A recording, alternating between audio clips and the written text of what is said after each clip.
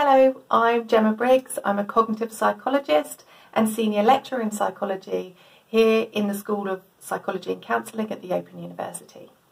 I've been asked to talk today about some of my research which is related to distracted driving, specifically mobile phone use by drivers, talking about some of the research that we've conducted and the impact activities that we've been fortunate enough to engage with as a result of that research.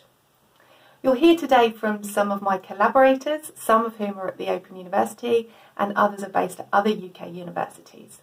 These include Dr Graham Hole, who's based at the University of Sussex, uh, Dr Jim Turner, who's based here at the Open University, Professor Graham Pike, who's also based here at the Open University, Dr Helen Wells, who's a criminologist over at the University of Keele, and last but not least, Dr Leanne Savigar-Shaw, who is a lecturer in policing over at the University of Staffordshire. We'll be hearing from a few of those collaborators um, during today's talk, but the idea is that we'll give you a background in some of the research that we've carried out and then share how we've shared those findings with a range of different audiences.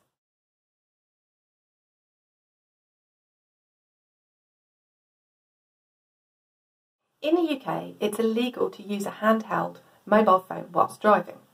We've had laws preventing handheld mobile phone use by drivers in the UK since 2003, and in 2017 the laws were updated to increase uh, the fines and penalty points that are associated with drivers who are caught offending.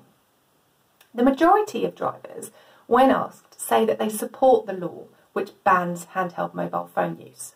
Many can see the logic that, of course, looking at a phone, for example, um, isn't really conducive to safe driving. However, there's no laws banning hands-free mobile phone use. And the focus of our research is on just that, hands-free mobile phone use.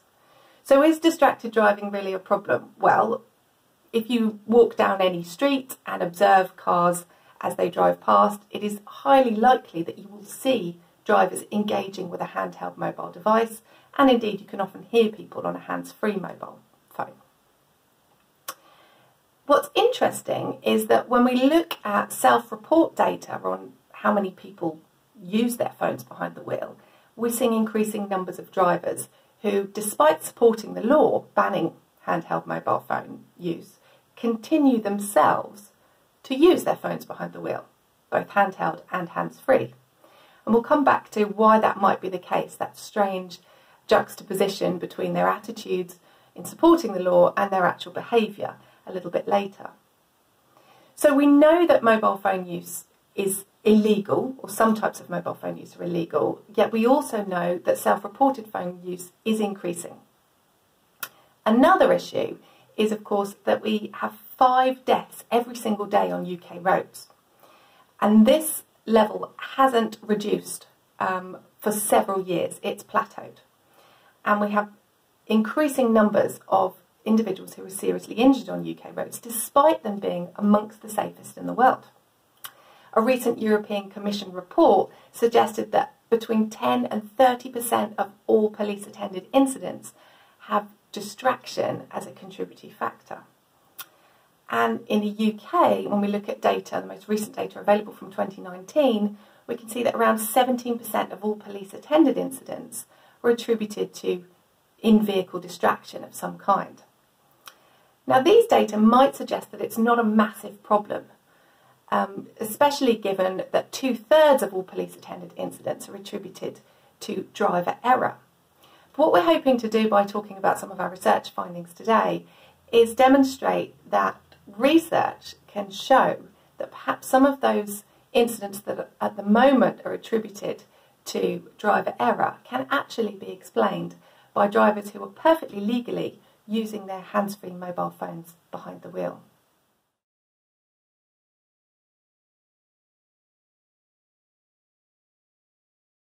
Having established that distracted driving is a growing problem, it perhaps makes sense to think about how mobile phone use affects driving performance. What is the real problem? What is the real issue here?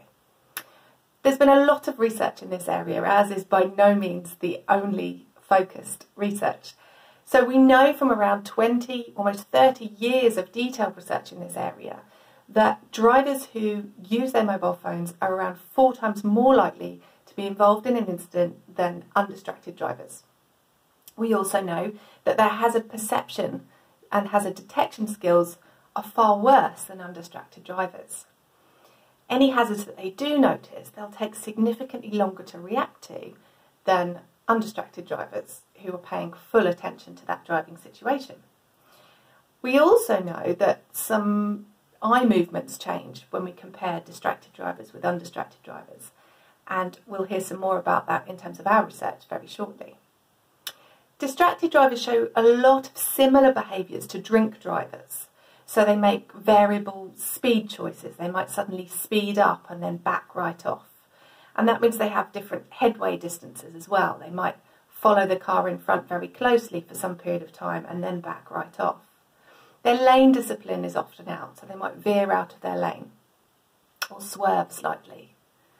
And they'll often use compensatory strategies, which is a polite way of saying that distracted drivers often don't check their mirrors and won't use their indicators, perhaps in an attempt to reduce the amount of cognitive effort that they're having to endure whilst trying to keep these two tasks of driving and mobile phone conversation going.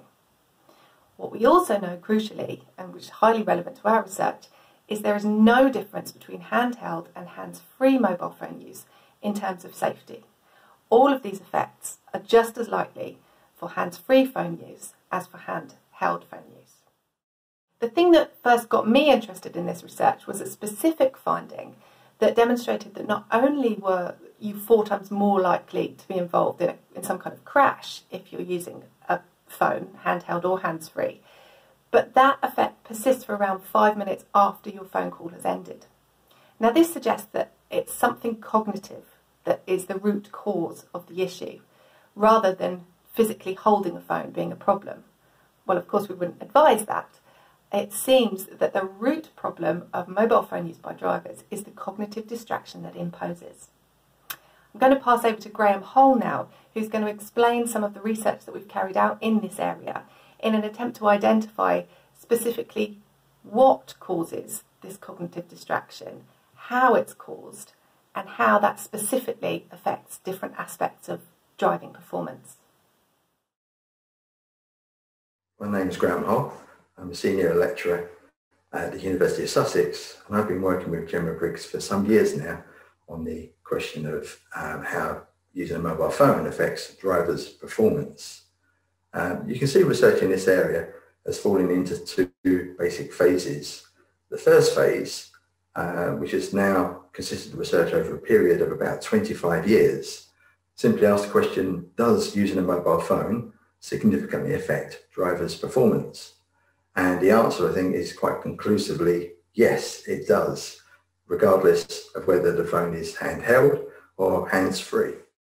This is a nice demonstration of um, the consistency of research in this area. Actually, and his colleagues reviewed 342 studies on distracted driving using a wide variety of methods, and 81% of phone studies showed that driving was significantly impaired by trying to use a phone um, while driving.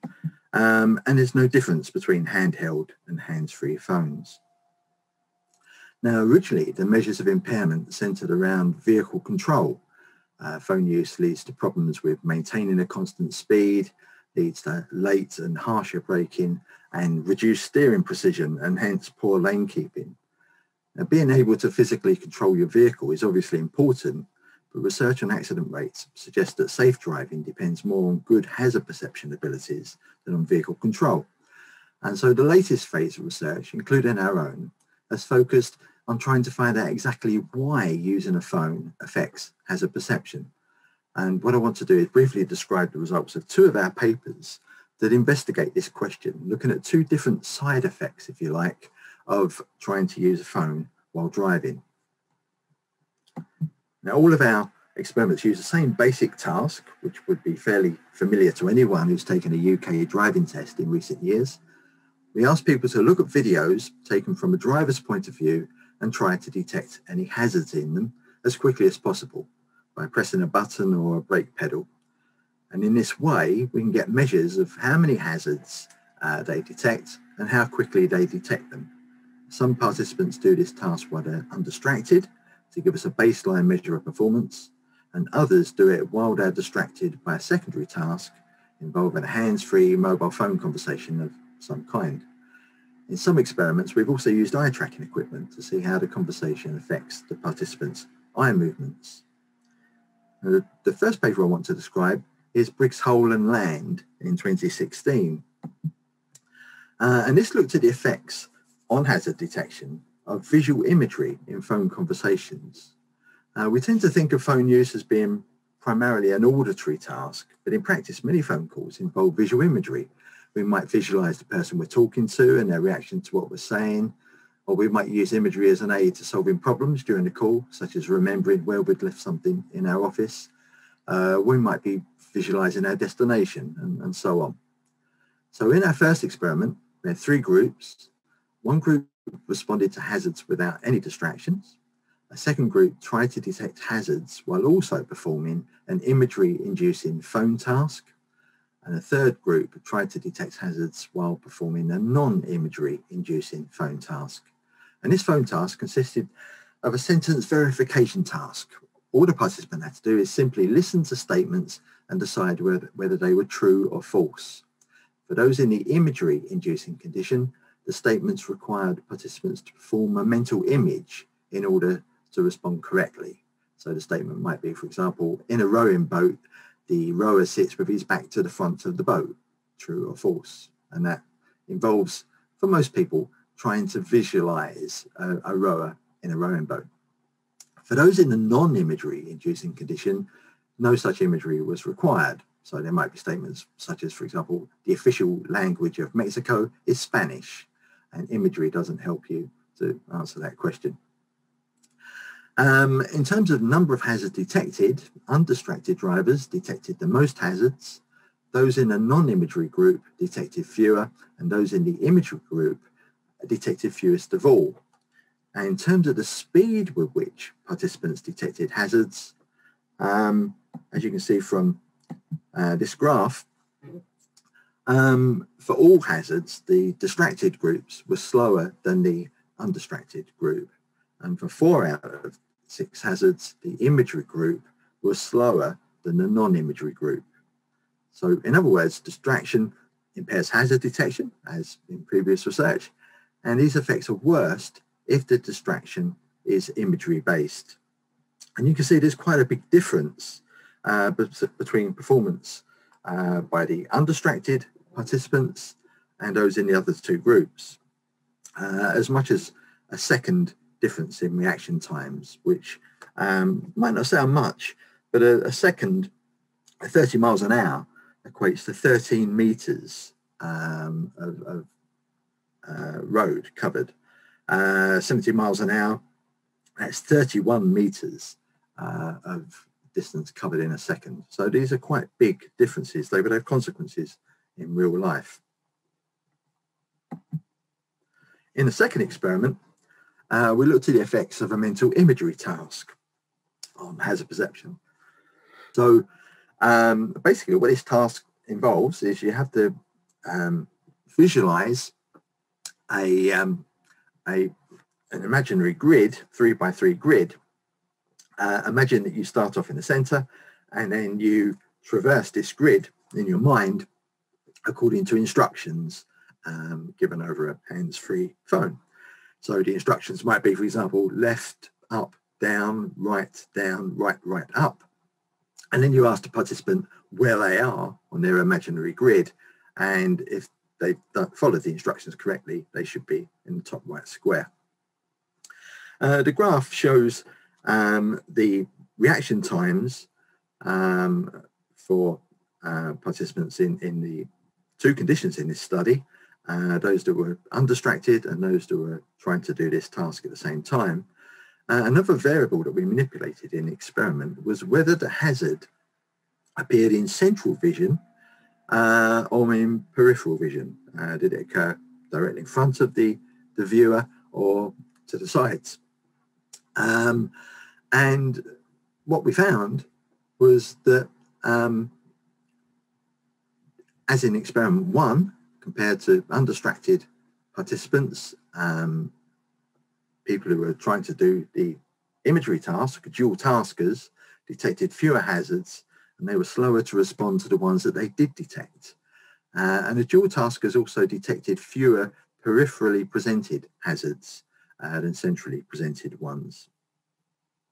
Uh, you can see here that the distracted participants are consistently slower than the undistracted ones. Um, we also looked at um, we looked at the eye tracking data um, in this study, and that revealed some interesting effects. Um, firstly, the distracted participants looked around a lot less than the undistracted participants. Uh, this top graph shows the spread. Basically, it's a measure of the spread fixations. So the higher the bar, the more spread out around the scene um, the the participants' fixations are. So the, the, the more wide, the, the more they're looking around the scene rather than directly ahead of them. And you can see there's a big difference between the undistracted drivers, uh, participants, and the dual tasking participants. Um, when people are using uh, a mobile phone, uh, they tend to look just ahead of the vehicle and they, they don't look much to either side. And so this has, has consequences for detecting hazards uh, that might be emerging from the side, such as somebody about to step off the pavement or a car about to pull out from a junction. Um, and we also looked, uh, the bottom graph shows um, an interesting phenomenon called looked but failed to see errors. This is where the participant is, this is the number of times the participant is looking directly at hazard as shown by the eye tracking data, but they fail to make a response. So in other words, they're looking at the hazards, but effectively not seeing it consciously. It's, it's the information is failing to reach conscious awareness. And you can see that these kind of errors are more common, um, much more common in the, um, the dual tasking participants than in the, um, the, the, participants who were undistracted. And um, they were more likely to occur to events, hazards that were occurring in peripheral vision. So basically, uh, what all these data are telling us um, is that, um, firstly, uh, imagery is um, trying trying to visualize um, information having a, a big effect on people's hazard detection performance.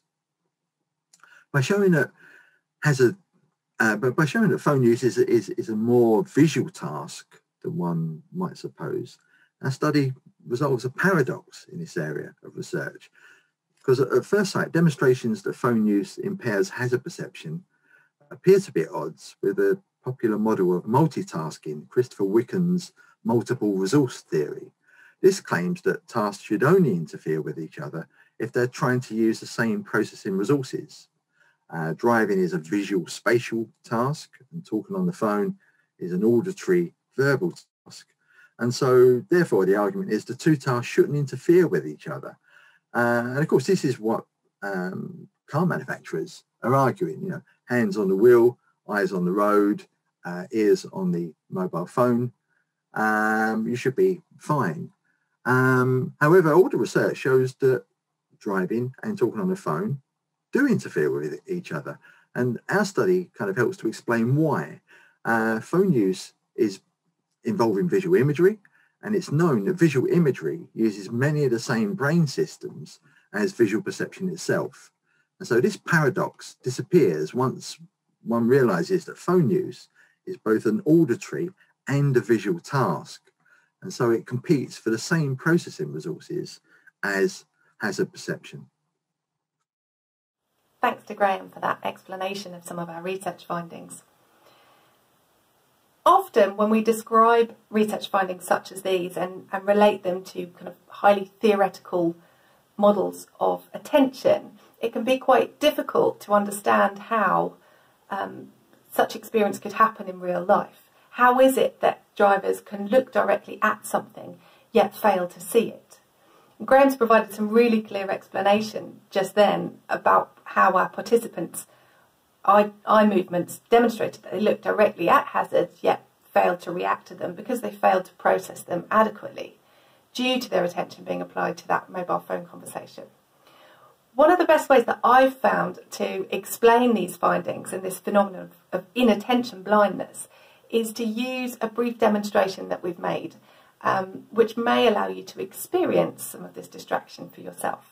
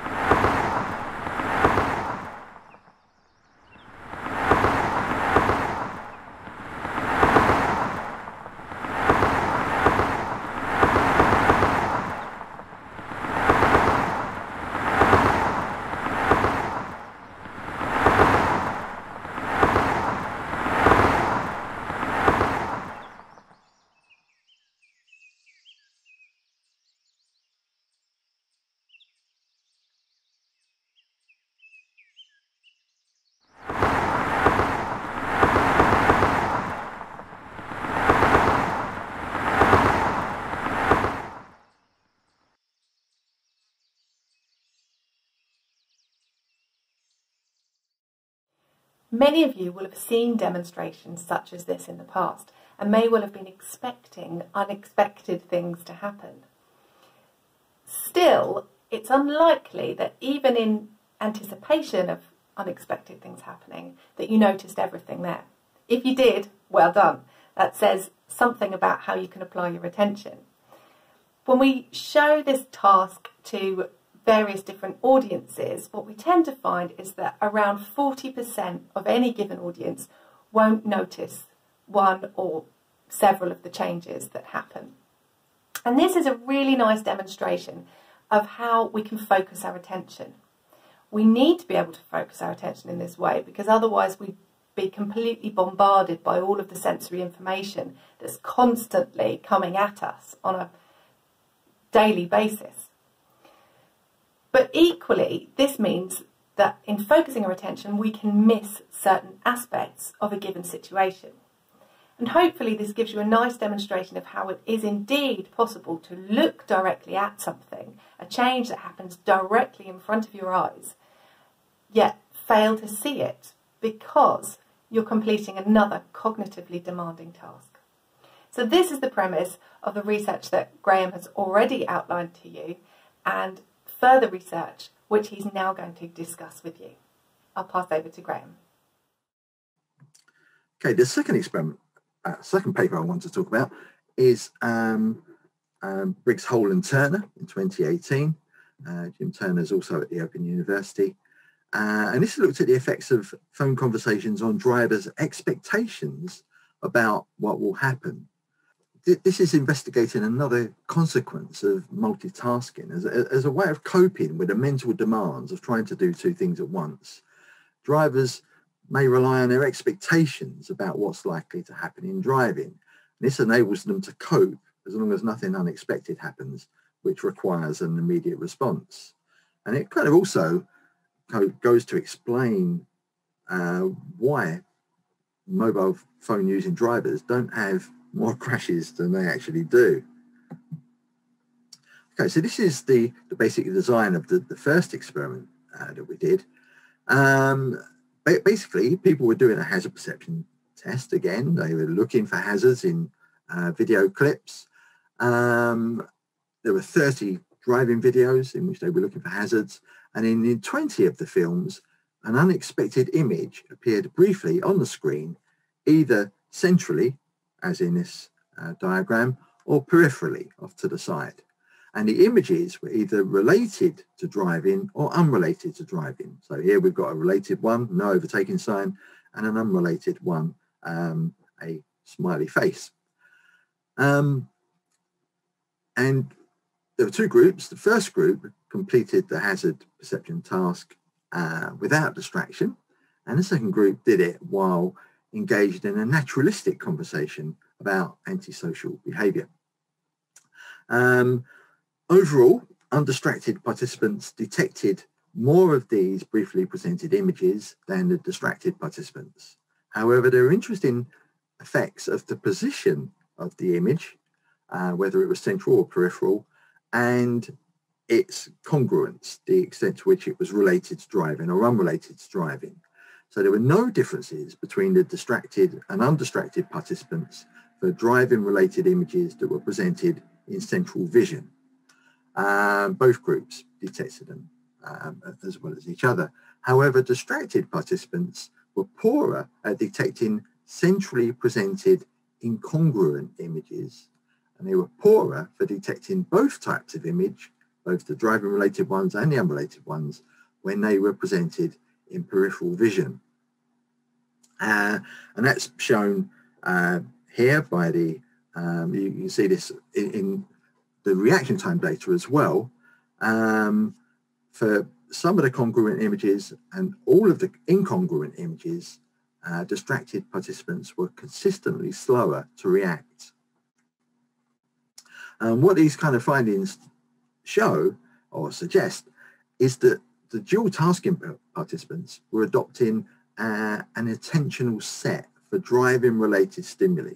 They were showing a bias towards responding to driving related information in the direction of travel at the expense of information that was either unrelated to driving, the kind of incongruent stimuli, or um, information that was located in peripheral vision. And you can see these are quite consistent effects in terms of the reaction times, um, the congruent images, uh, the driving related images, um, the distracted participants show much longer reaction times.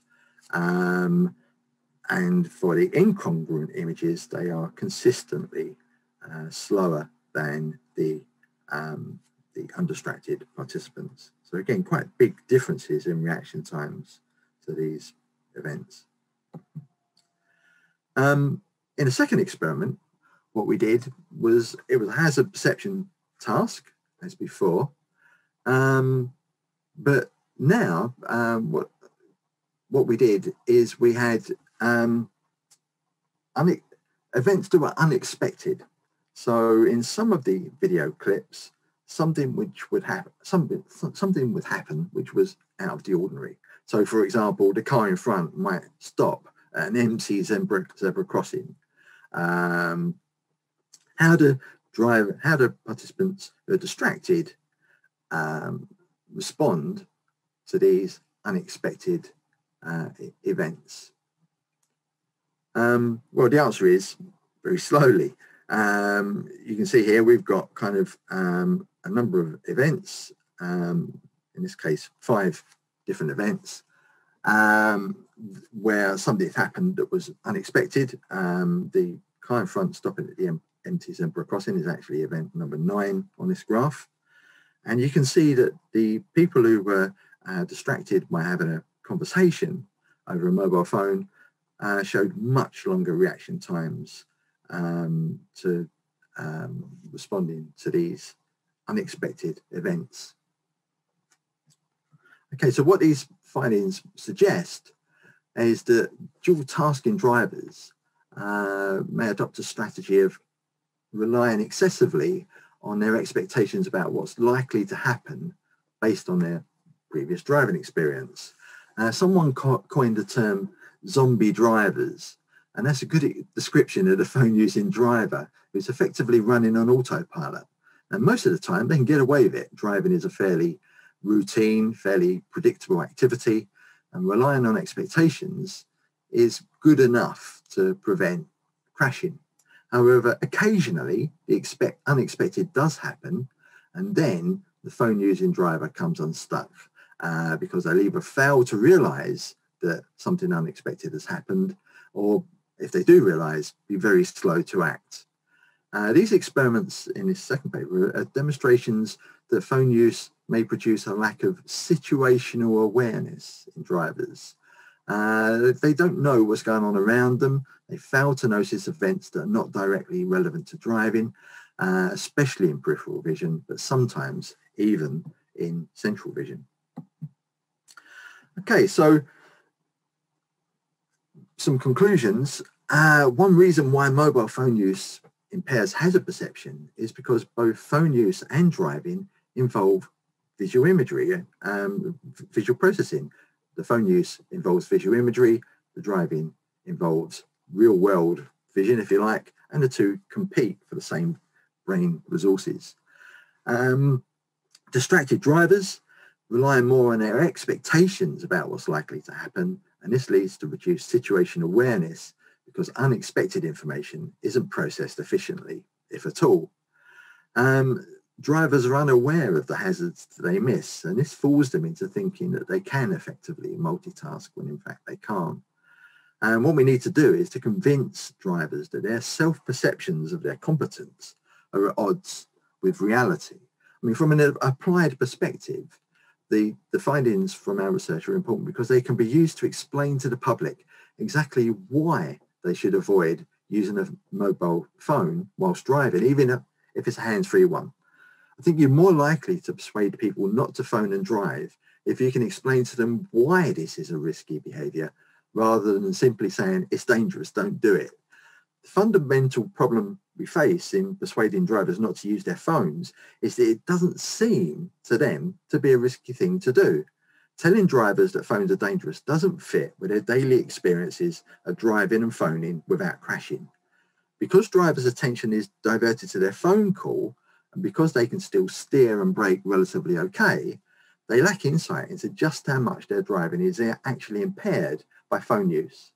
And on the basis of research like ours, we can explain this to drivers and hopefully, hopefully persuade at least some of them to avoid their phones while they're driving. Thanks to Graham. So hopefully you can see that the experimental psychological research that we've carried out has provided new theoretical explanations for why hands-free phone use is a problem in terms of driving performance and therefore road safety. We feel that this is really important because we're able to communicate specifically why it's a problem, not just that it is a problem. And therefore, we've moved the research field on in those terms along with many other researchers who are doing important work in this same and very similar areas. Some further work that I've carried out with Helen Wells and Leanne Savigar-Shaw looks at how best we can communicate research findings such as those that Graham's just outlined to you. We know that there is resistance amongst drivers to taking in, processing, understanding research findings such as ours and perhaps a particular resistance to the suggestion that hands-free phone use is problematic. Hands-free phone systems come pre-installed in most new vehicles. They're highlighted by car manufacturers as something which is highly desirable. It allows us to keep up and keep on at the same time as driving. So it's understandable perhaps that there is resistance to our research findings in those terms by drivers. I'm going to pass to Leanne now who's going to discuss some of the research that we've carried out, which looks specifically at how we can communicate the inconvenient truth regarding mobile phone use by drivers. Hello, I'm Leanne Savigar Shaw, lecturer in policing at Staffordshire University. And I've been working collaboratively with Gemma Briggs, along with our colleague Helen Wells, on some collaborative work concerning driver distraction and from that, we've produced an analysis of a series of programmes of research that have led to a publication in the British Journal of Criminology. That publication focuses on mobile phone distraction and some of the complexities that sit around the issue. So we know that an increasing number of people are admitting to using their mobile phone while driving at some point or in some form and that is at odds with the academic research, which is identifying how phone use interferes with driver performance. We know more and more about the dangers of mobile phone use, and yet continue to see resistance to legal and safety messages regarding mobile phone use distraction and its dangers. So, from our publication, we identify three key themes of focus Firstly, motives. That there are certain aspects of life things that we experience, things that we think, things that we do that are driving a motive for mobile phone use whilst driving and ignorance to messages to resist doing that. Some of this comes from changes in the nature and the structure of employment, that we have uncertainty around our employment, how safe it is, and our associated financial stability. And indeed, business related activities have been reported to be one of the most likely reasons for mobile phone use while driving. As well as working, personal and social relationships also need to be actively maintained. Friendships and, and other relationships, they change frequently and it takes a lot to keep them going. Telephone conversations, messages, keeping in touch to ensure those those relationships are maintained. And these kinds of things have led to claims such as I need to be contactable. I need to be in touch with my employer or employee. I can't be out of touch with my social bubble. I have a fear of missing out. And I have to keep in touch with the world using my mobile phone. The driving context doesn't stop that. Another motive is that everybody's doing it. There's an apparent social norm to mobile phone use, that people see others doing it and use that as a motive for them to do it too.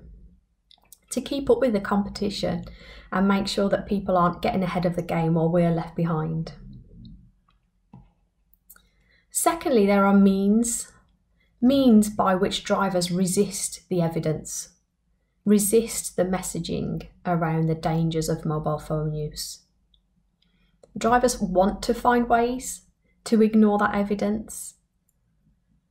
They find counterclaims based on other so called research, uh, their own knowledge of the world that contradicts the findings around the dangers of mobile phone use. And those means are what are used to justify their chosen actions on the roads. So these means include things such as that's all very well, but I'm a better than average driver. And we know from lots of evidence that drivers are well known for enhancing their driver ability and, and their crash risk optimism. They think they're safe on the roads. We see our own skill as superior to that other other drivers and see that as a means by which we can use a mobile phone because we're safer than others. That's all very well, but I've done it hundreds of times and never had a crash. The idea that because we've done it before in a certain circumstance or situation on the roads, we can do it again. It's almost common sense that if we've done it before, we can do it again. But actually, this ignores lots of the complexities around different journeys, different drivers on the roads, different road conditions, all of the changes that happen in a single road journey.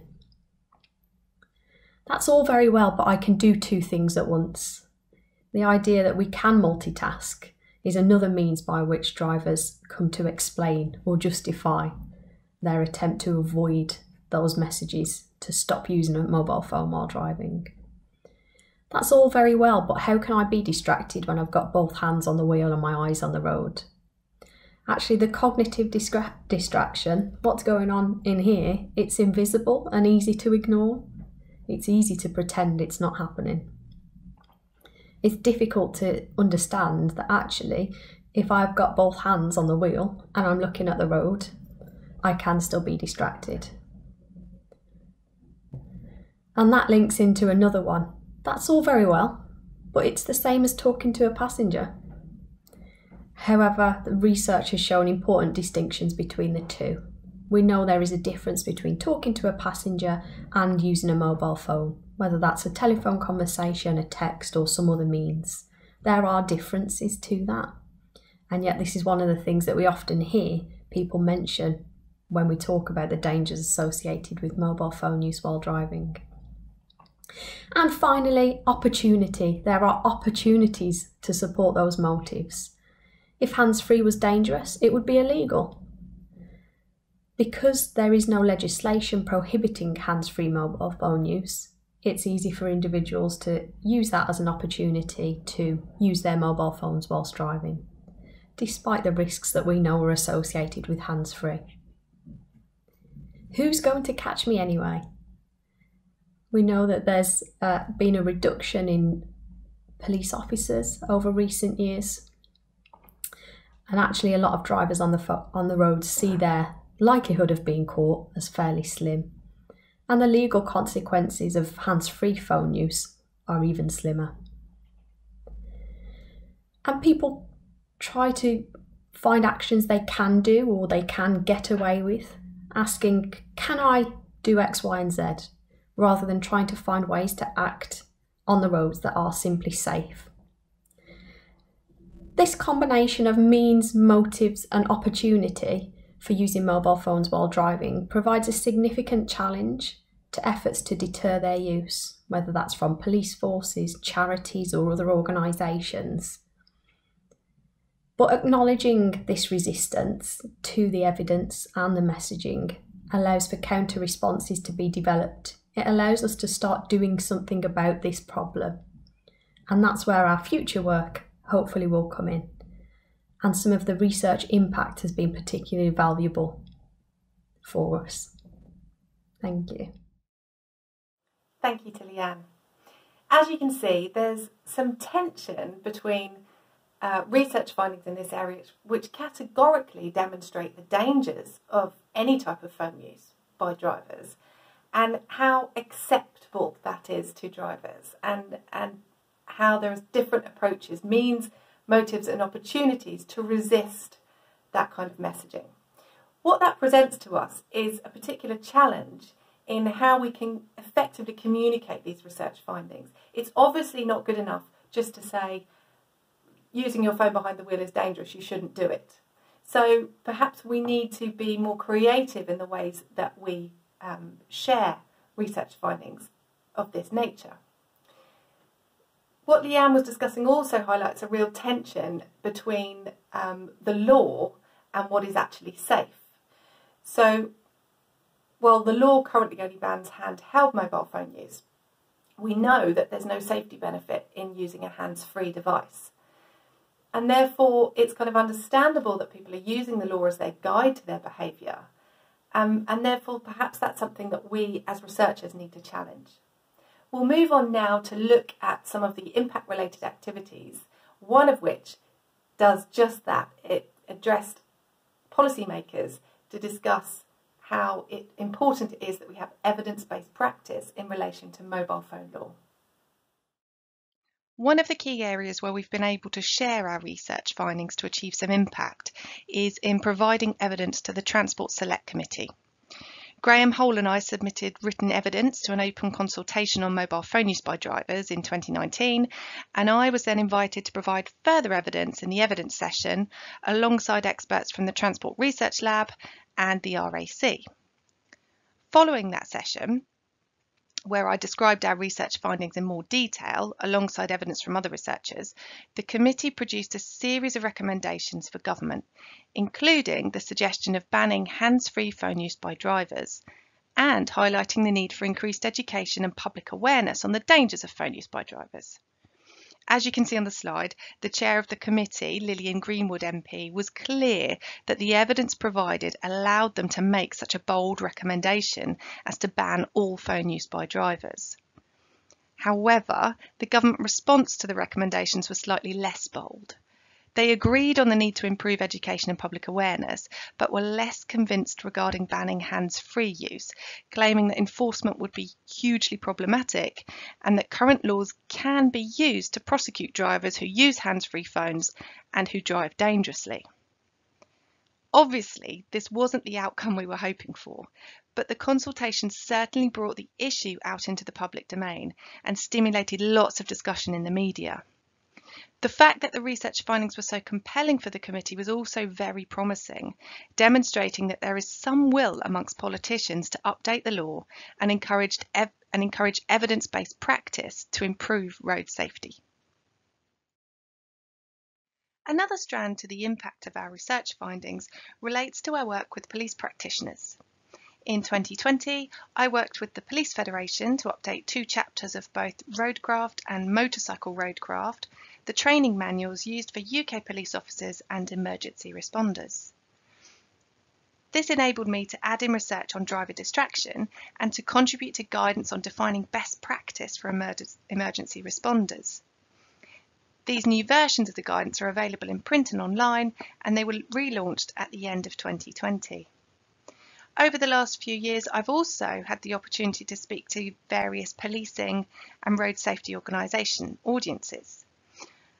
Um, with Helen Wells, I presented at Road Safety GB and at the UKROEd conference. These opportunities have provided great chance to share research findings with policymakers across industry, road safety charities and policing audiences. One specific project, which Helen and I worked on with the National Police Chiefs Council, related to the police's national mobile phone enforcement campaign. With Road Safety Trust funding, we created evidence-based materials and resources to be shared during the two-week campaign. Hopefully you can see from the screen that these findings all come directly from the research Graham outlined earlier, but are communicated in a way that is appropriate for this type of campaign.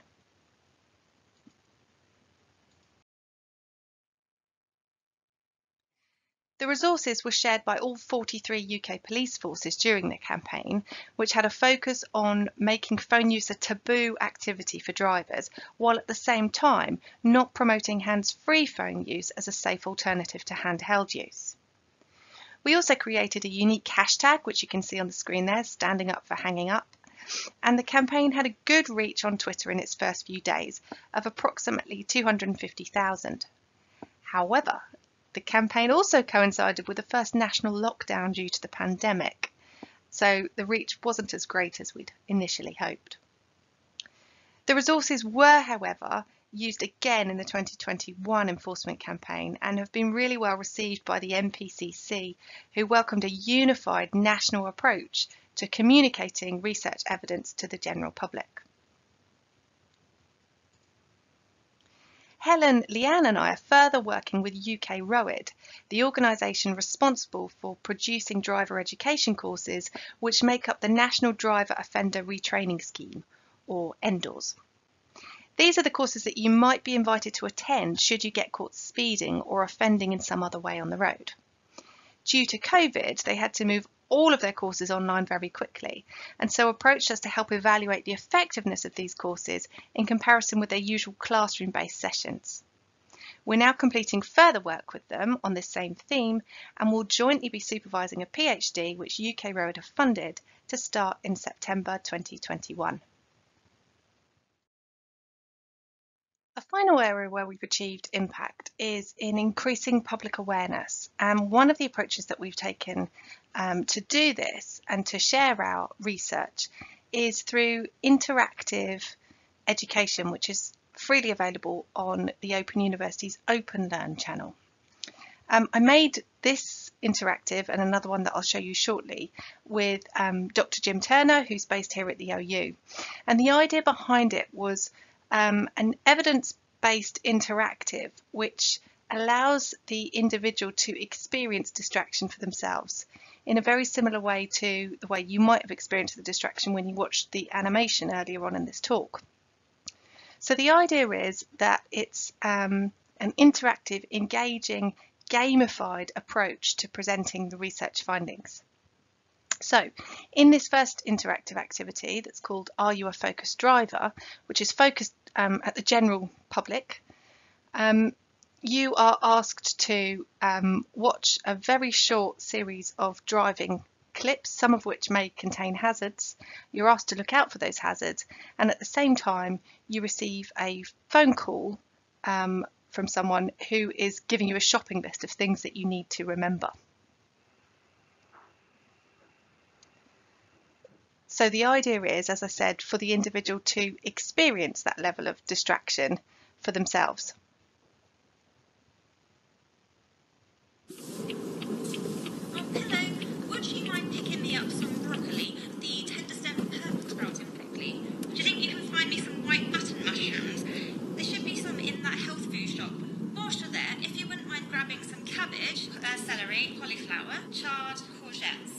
carrots, new potatoes, cherry tomatoes. Oh, and we need some fresh herbs. The parsley, curly, thyme, not the lemon thyme, rosemary, sage. All right then, see you later. Bye. Okay, so quite a fast-paced series of clips, and you're then, as a user, asked to answer some questions. And the first set of questions are about is about the phone conversation. So you're asked for details, and you're given immediate feedback on how well you've done on answering these questions. The idea being, if you focused on the conversation task sufficiently, you should be able to answer these questions correctly. You then move on to answer some questions about the driving task and you're asked a series of 10 questions about which hazards you saw. Um, now, not all of these hazards that are presented here um, that you're asked about were actually present in the film because obviously we want to ensure that people are answering truthfully. Um, so you complete this quick fire round, you see some of the hazards are slightly more out of the ordinary than others. Um, and the idea is that at the end we can look at performance in the driving task as well as performance in the conversation task. And it'll be interesting to see if those who do well in one task do worse in another or vice versa.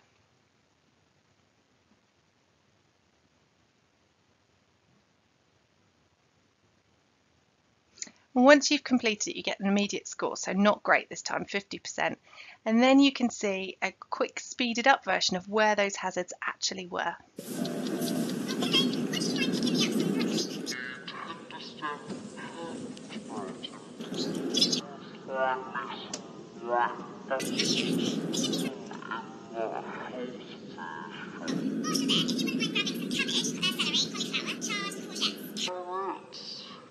potatoes, cherry tomatoes. Rosemary,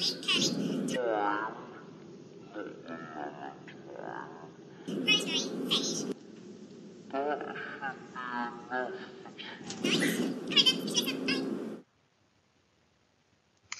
So after you've seen that, you can then scroll through and have a visual recap again of where these hazards are, and it highlights which hazards you were asked about that weren't actually present. So there was no cycling clown in case you were worried. Um, it's amazing the number of people who miss Superman though. Um, and it works, as I said, according to inattention blindness research that we've discussed earlier on today.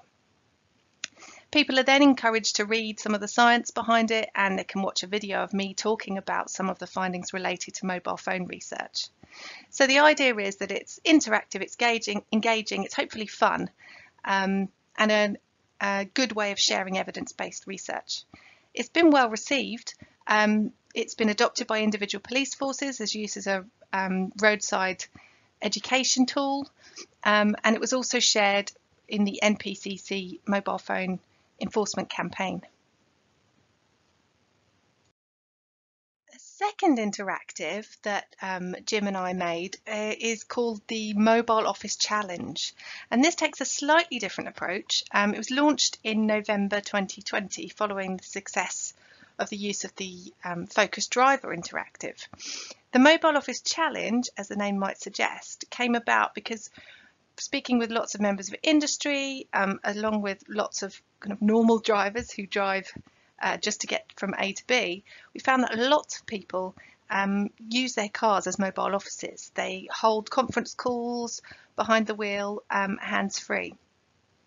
So we were interested in, in tapping into that and also thinking about um, driver confidence in terms of performance, how confident a driver is that they've spotted hazards and therefore driven safely, or how confident that they are that their um, work that they're doing via these phone calls is effective.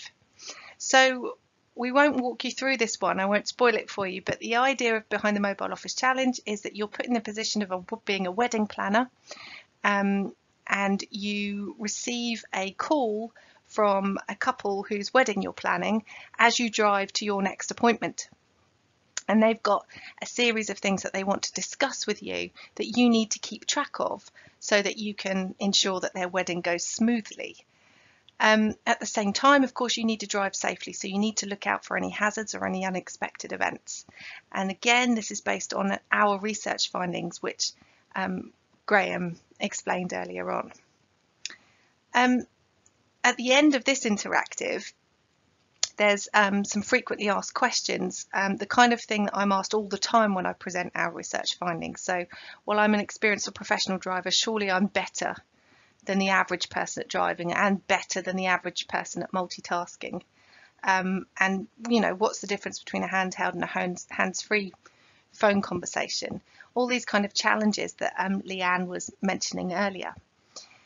Um, so we ask people how confident they are as they go along. We ask them questions about the um, uh, phone conversation that they've had, what have they kept track of, what haven't they, and they'll get a score for that. And then we'll ask them how confident they are that they've done um, that well. Um, then they'll complete a second round where they're not having a mobile phone conversation. So that's our our baseline.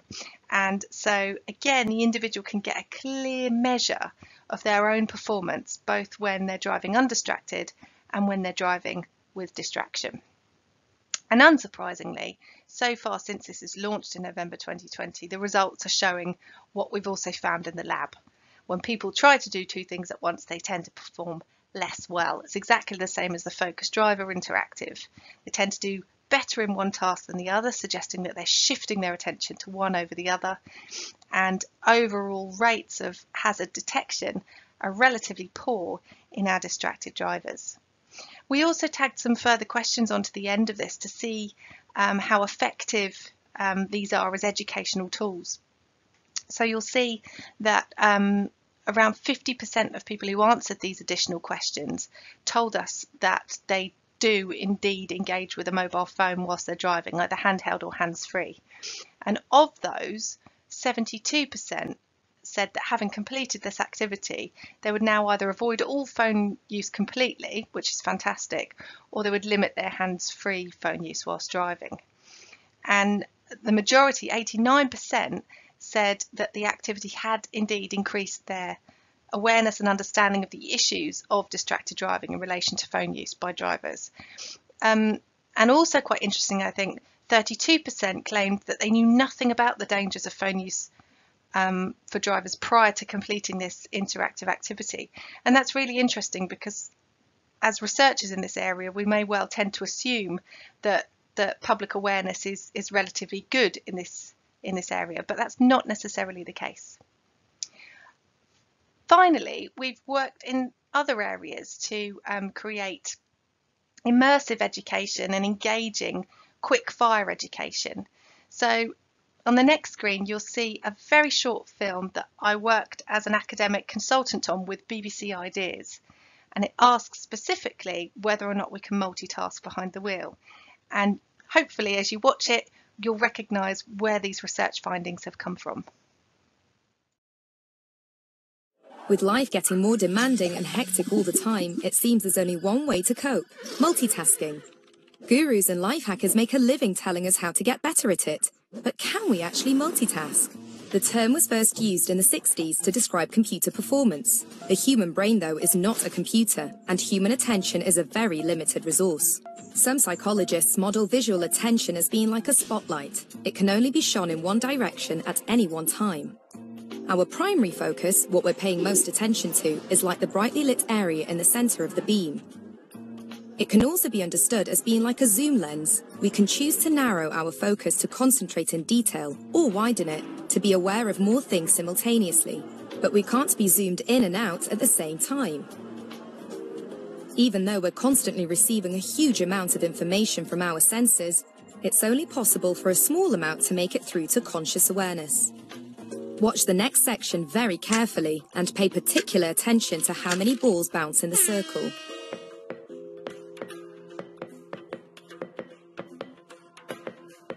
How many can you count? Seven, right? But did you also notice that little dinosaur? What about the changing shape of the circle? Or the smiley face on one of the balls? This shows just how powerful focused attention is being able to filter out irrelevant detail is an amazingly useful tool, but it means we can miss things that are right under our noses, an effect known as inattention blindness. You can see this very clearly in the famous invisible gorilla experiment. When asked to concentrate exclusively on how often basketball players in white pass the ball, most people completely miss the gorilla walking across the screen and beating his chest. We just don't have the capacity to process everything at once. This is a particular problem when we try to multitask. We can switch attention from one task to another and back again. But when attention is overloaded, we miss things. And the result is nearly always that we perform tasks less well than we would doing them one at a time. It's only truly possible to do two things at once if they require different sets of cognitive resources. For example, it's totally possible to read a book and listen to music at the same time. Which would suggest that driving while talking on the phone is not a problem, as long as it's a hands-free phone. It's not that simple though. Research has shown that while talking on the phone, we have a tendency to create mental images, and this uses the same visual resources needed for driving. And if visual resources become too stretched, it's perfectly possible for a driver to look directly at a hazard, but, just like with that little dinosaur, fail to see it. Not everything will make it through to conscious awareness. So multitasking makes us at best inefficient and at worst downright dangerous. If you're feeling like you should be doing 17 things at once, remember, that's just not the way your brain is wired.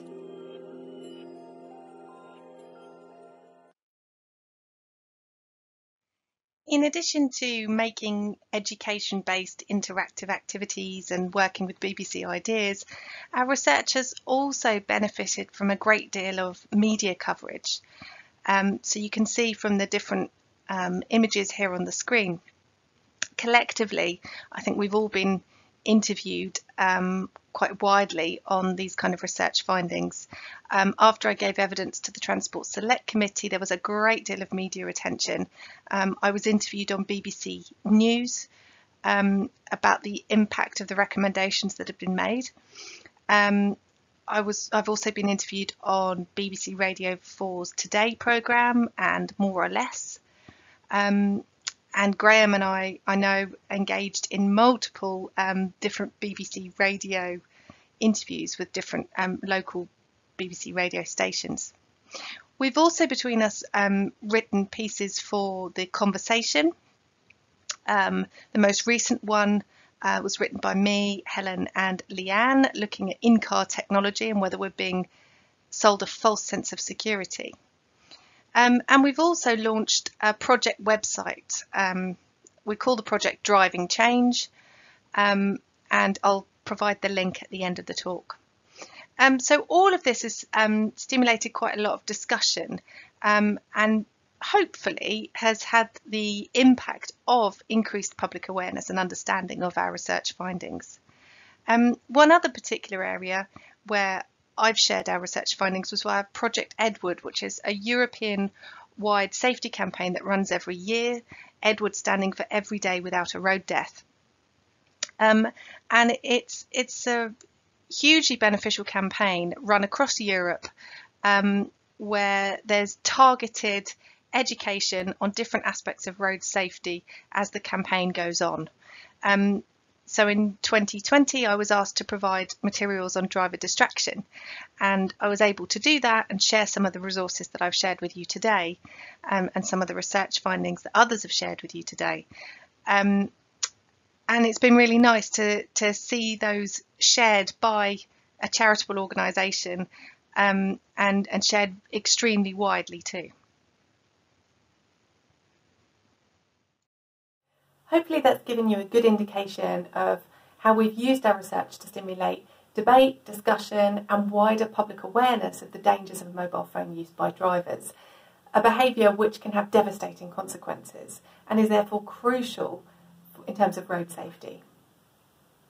Moving forward, we'll continue um, to carry out research in this area, of course. We'll be keen to get back into the lab when it's possible to do more simulation and eye tracking based research. Uh, we'll also be working um, on detailed campaigns to identify specifically how best we communicate research findings such as these to distinct groups of drivers and how it's important that different approaches are taken for those distinct groups of drivers.